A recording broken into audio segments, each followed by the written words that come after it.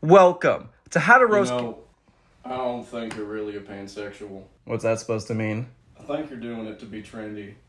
I think it's always been trendy to fuck who you're attracted to. Yeah, but what does that even mean? What is pansexual? It means I like people for their personality. So you just be with whoever. Were you afraid that I have my options open? Think that I'm gonna steal your girl? I'll actually get with you.